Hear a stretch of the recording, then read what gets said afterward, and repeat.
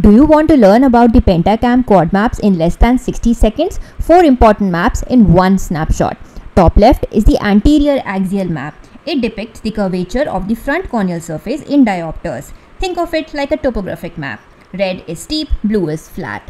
Next, we have the anterior elevation map on the top right. This compares the front corneal surface to a best fit sphere and calculates the elevation. So any bulging of the cornea will appear on these elevation maps.